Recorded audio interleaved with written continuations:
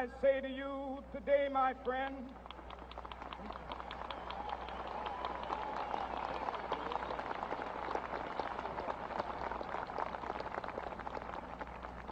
so even though we face the difficulties of today and tomorrow, I still have a dream.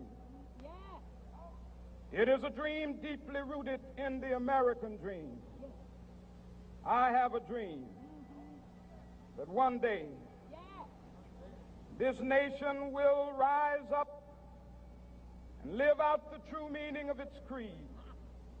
We hold these truths to be self-evident that all men are created equal.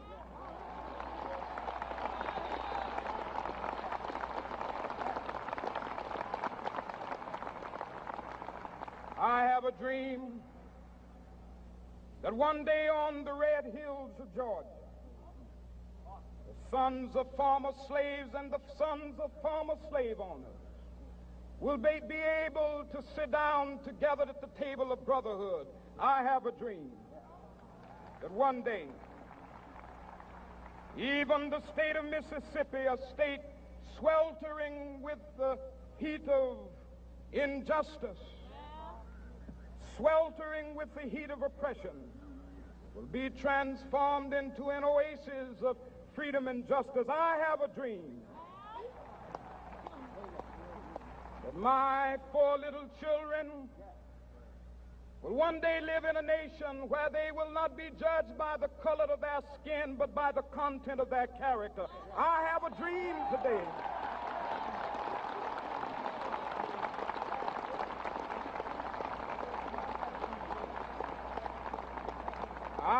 A dream that one day, down in Alabama, with its vicious racists, with its governor having his lips dripping with the words of interposition and nullification.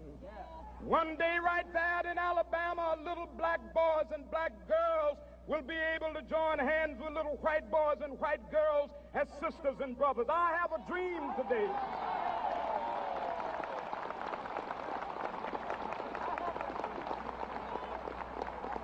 I have a dream that one day every valley shall be exalted.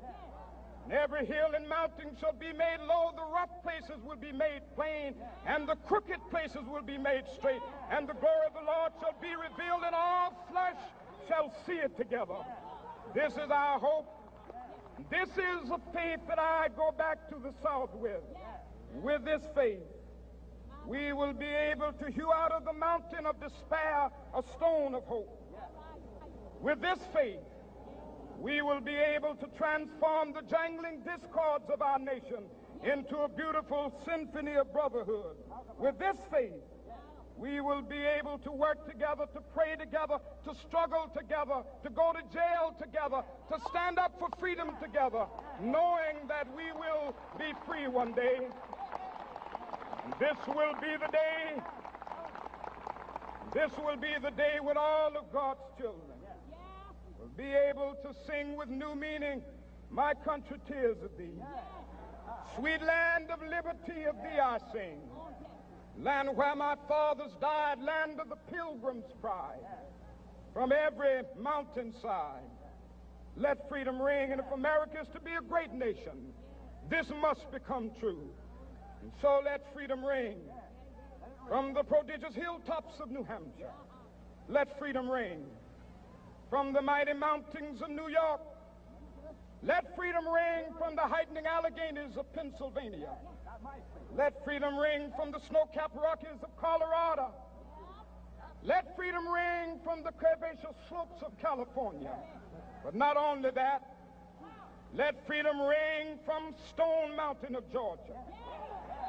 Let freedom ring from Lookout Mountain of Tennessee. Let freedom ring from every hill and molehill of Mississippi, from every mountainside. Let freedom ring, and when this happens,